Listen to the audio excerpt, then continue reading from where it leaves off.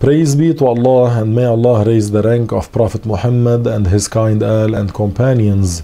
Thereafter, among what the Prophet conveyed and is obligatory to believe in is the day of judgment, resurrection, and assembly. The day of judgment is also called the day of Al Qiyamah.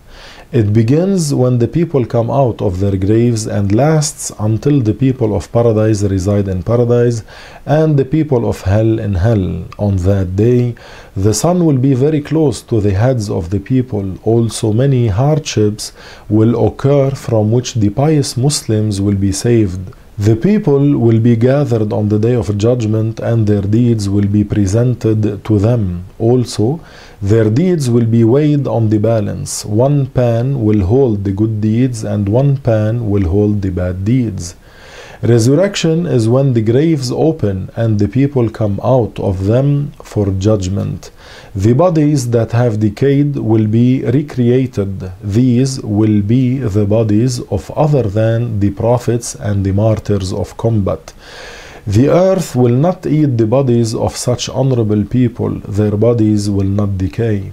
Similarly, the earth will not eat the bodies of some highly righteous Muslims, walis, saints. Their bodies will not decay. After resurrection, the people will be gathered at a place to be questioned about their deeds.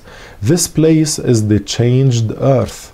This earth that we are on now will be changed on the day of judgment to a flat earth with no mountains or valleys. The assembled people are in three categories. The first type will be assembled, fed, riding, and dressed.